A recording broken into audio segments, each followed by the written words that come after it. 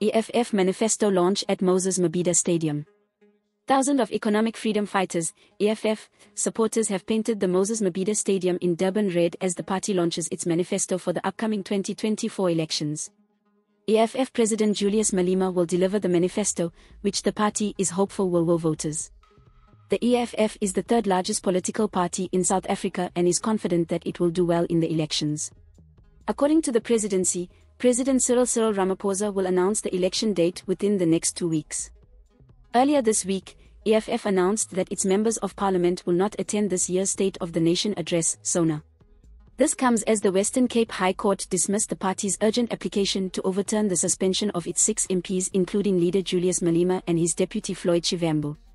Following the Western Cape High Court's decision, the party said South African courts have been reduced to being part of the Ramaphosa defense mob.